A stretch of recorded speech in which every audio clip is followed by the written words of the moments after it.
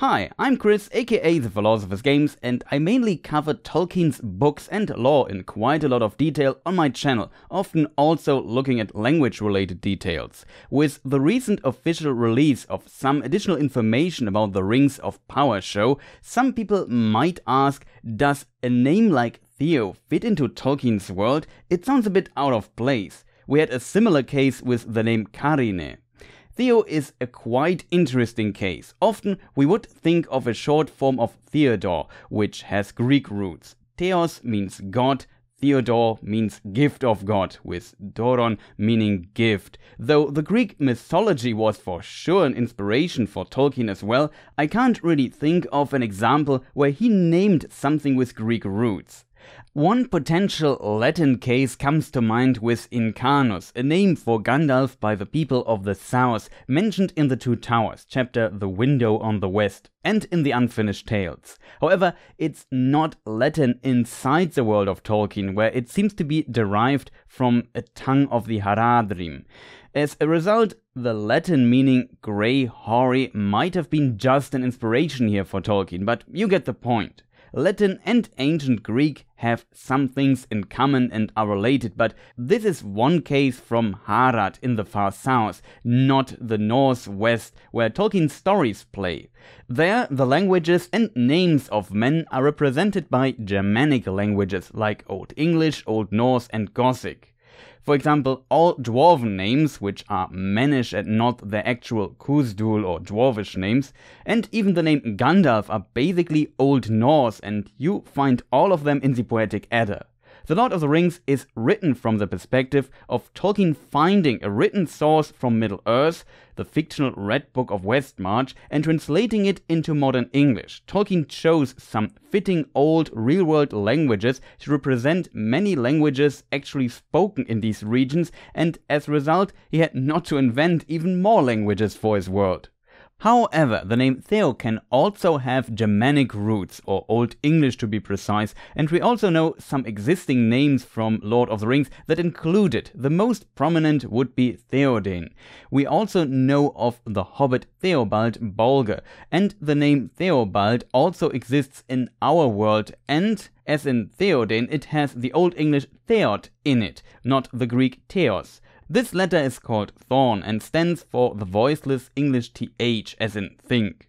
Theod means, according to the Anglo-Saxon dictionary by Bosworth and Toller from 1898, nation or people. The name Theoden would mean king, leader or chief of a nation or people, so a chief of Theod. With this, the name Theo could also be Old English, maybe a short form or nickname. We know shortening names or using a diminutive goes far back in history. For example, James became Jim, William became Bill, and so on. It seems even in the Middle Ages, this concept existed in one form or another. I even think the Vikings had something like this.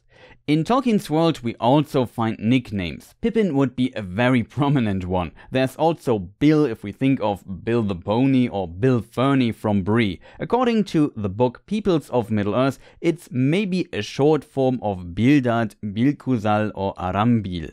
So having a nickname, or I think you also call it pet name, would in my opinion work in Tolkien's world.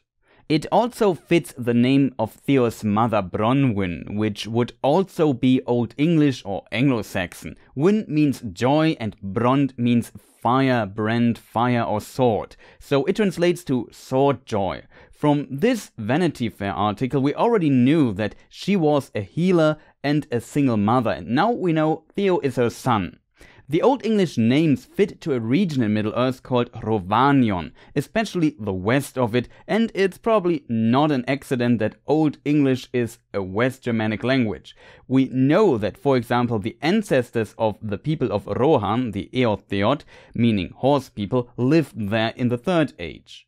One can of course argue that the show plays in the Second Age, thousands of years earlier, and we should find an even older Germanic language in this region instead, but that would be something like Proto-Germanic, and we have no real written sources of that. It's reconstructed applying the knowledge linguists found out while researching how the Indo-European languages developed over time. Very interesting field. For Old English, Old Norse, and Gothic, we have written sources. As a result, I'm not angry that they just went with what Tolkien used for the Third Age, though it might be inaccurate in the Second Age. Tolkien focused only on elves and Numenor when it comes to writing about the Second Age, which also makes sense inside the world because only those wrote things down, and as a result, future generations had written sources of what happened at that time. Dwarves also wrote down things, but they were very secretive, and as a result, knowledge about the dwarves was extremely limited. As said, Tolkien wrote all this from the perspective of someone finding these sources and translating them. So, in conclusion, the name works out in my opinion. I hope, though, it's just his nickname, though.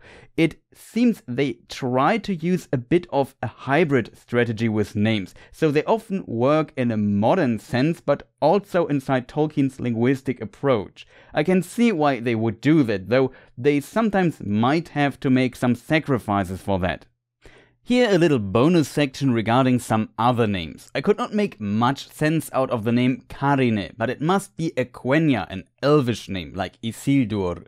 I talk a bit about this name in my long analysis video about the so far released information of the show. Link is in the description.